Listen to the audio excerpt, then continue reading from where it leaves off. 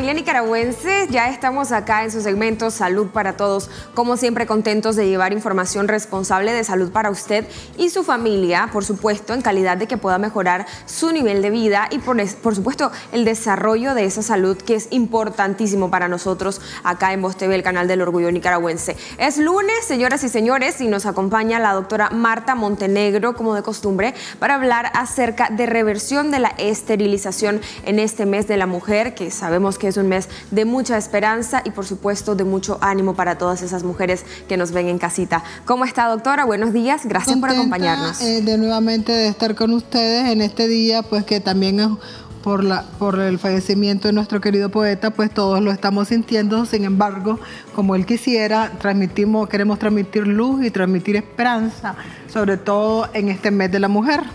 Eh, ver que existen posibilidades, aquellas mujeres que tienen algunos oh, factores que le están limitando su fertilidad, que pueden resolverse por una cirugía mínimamente invasiva y de alta resolución. Excelente. Doctora, reversión de esterilización quirúrgica, para mí esto es algo nuevo. Y creo que para muchas mujeres en Nicaragua también, porque no sabíamos que podría revertirse ¿no? la esterilización de forma quirúrgica. Sí. Háblenos un poquito de esto. Y también importantísimo, el Hospital Vivian Pelas es uno de los hospitales en nuestro país, o el único, creo yo, que brinda una atención integral para esas mujeres que quieren volver a sentir ese deseo de ser mamás. Sí, el, realmente el concepto de la cirugía reproductiva es un concepto bien amplio eh, donde no solamente está incluida la reversión de la esterilización, sino otras cirugías que pueden preservar la fertilidad. Por ejemplo, ah, la, conservar el útero. Muchas veces llegan mujeres llorando a mi oficina, ay, mire que doctora, que no tengo, no tengo hijos y me dijeron que tenía unos miomas y que me querían quitar el útero. Entonces existen otras posibilidades de hacer la cirugía de miomectomía, conservar ese útero y, hacer pues nuevamente un, útero funcional. Pero el éxito de una cirugía no solamente es de un acto quirúrgico.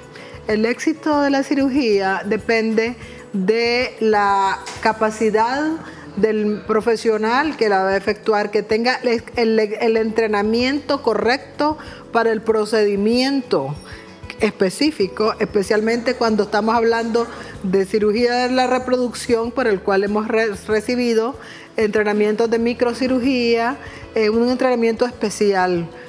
Esto es como cocinar un lomo, lo puedes hacer de una manera cualquiera o lo puedes hacer de una manera fina. Entonces eso es como, como cualquier profesión que tiene una subespecialidad con un entrenamiento especial que para poder obtener, dar los resultados que cree. Y en eso, ¿qué tiene que ver? La selección del paciente.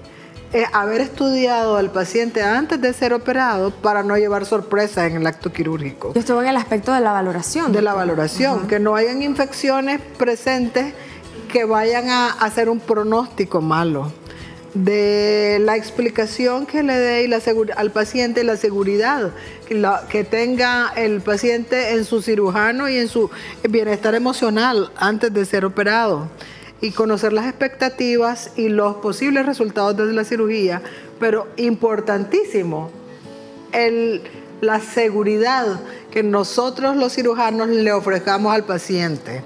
Y eso, como te decía, va aparte de nuestro entrenamiento, parte del equipo con que trabajamos y del lugar donde trabajemos. Yo me siento muy feliz eh, de ser fundadora del Hospital Metropolitano y poder trabajar ahí mis pacientes en, el, en todo su en consulta y en el aspecto quirúrgico. Para nosotros la cirugía es como una ceremonia legal, donde existen pautas antes de existe un protocolo desde que llega el paciente, cómo se atiende el paciente, los procedimientos a través del expediente médico electrónico que llevamos. Eh, antes de cuando ya todo está listo en quirófano, todo revisado, hay una pausa quirúrgica donde se chequea todo, que debe estar listo, todos los equipos, el oxímetro, el aparato de, la anestesia, los cauterios todo tiene que estar listo y, el médico responsable es el que tiene que estar al pie de todo, ¿verdad?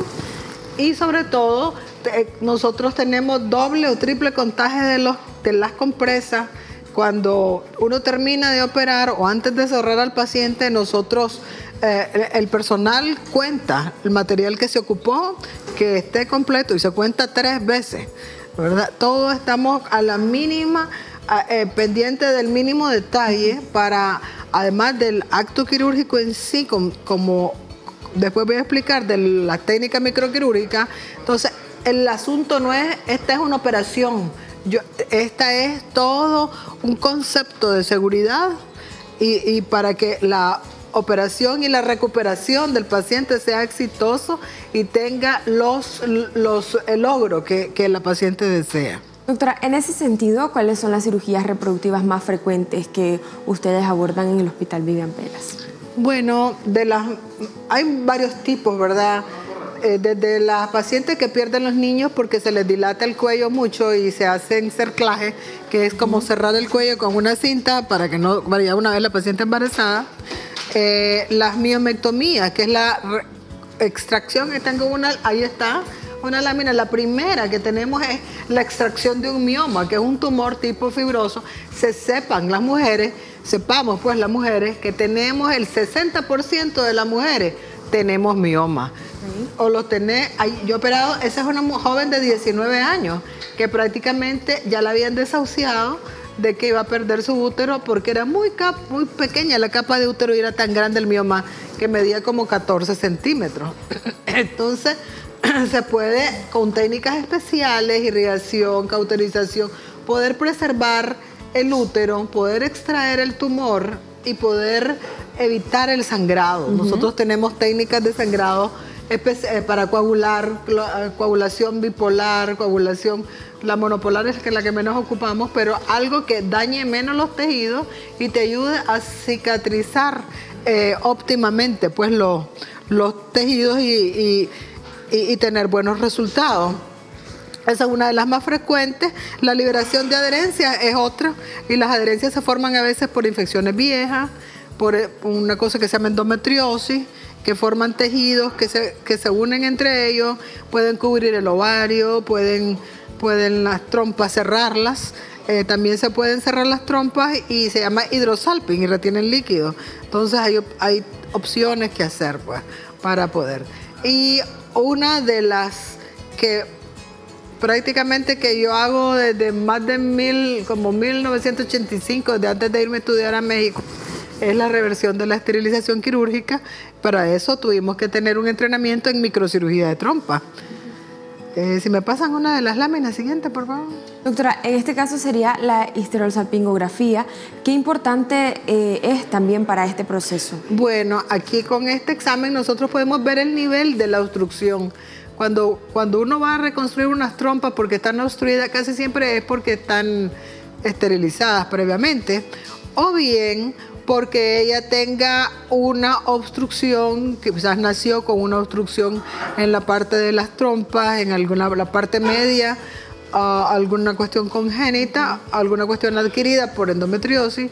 Entonces la, esto nos va a decir hasta dónde está bloqueada la, la, trompa y eso nos va a servir para antes de operar poder hacer una inyección de un material que se llama azul de metileno que nos va a pintar por dentro la trompa en azul. Entonces eso es con respecto a ese examen, pues eso nos apoya.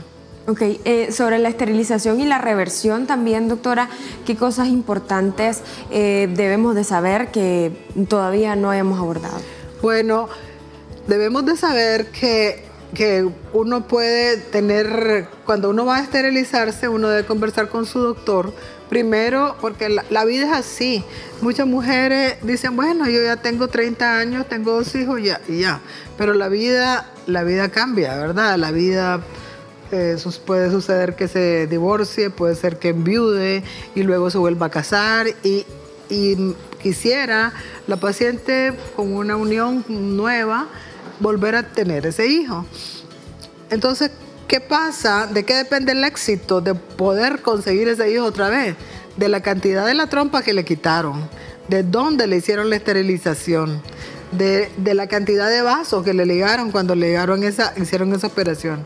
Entonces, uno le aconseja a los cirujanos, porque también damos clases a los ginecólogos, de que, para, de que la, antes las técnicas cogían bastantes bastante, tengo una lámina por ahí de, esterilización, pero tomaban bastantes trompas y hacían un gran trozo, otros le quitaban la parte final de la fimbria, pues lo más fácil, papá, coges dos pinzas y la, la quitas. Otros hacían el corte muy pegado al útero, cuando, entonces en la medida que te acercas al útero, hacer la esterilización es más difícil la reconstrucción. Eh, la, parte, la parte de abajo que ves, que ves este, que está cortado el pedazo, es la técnica antigua y que la que se usa en un 90% aquí es la de Pomeroy. Pero a veces agarran el pedazo más grande, un pedazo así, rápido, pues va, y entonces te acortan la trompa. Uno debe dejar por lo menos unos 5 o 6 centímetros de trompa hábil por si en un futuro la paciente quiere reconstruirse. También cuando uno va a hacer la esterilización, para no tener hijos, debe ir en la parte donde hay menos vasos para no dañar la circulación del ovario. Porque algunas pacientes dicen, ay, desde que me operaron, eh, ya tengo quistes en los ovarios. Ojo, la menopausia me va a venir antes porque me agarraron y me ligaron los vasos. Entonces, el cirujano debe ser cuidadoso y, y aunque va a esterilizar, siempre debe de pensar que esa paciente más adelante puede solicitar una reconstrucción de las trompas. Entonces uno tiene que tener cuidado de la, técnica que use, el material que use para poder llegar a hacer posteriormente la reconstrucción de esas trompas.